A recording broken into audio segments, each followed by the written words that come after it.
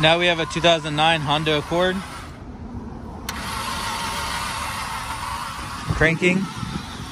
Mileage is 157. Automatic, six cylinder.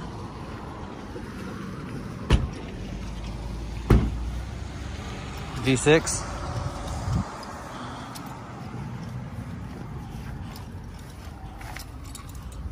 The bumper is in the passenger seat. Will be for auction on September 12th at alamoauctioneers.com.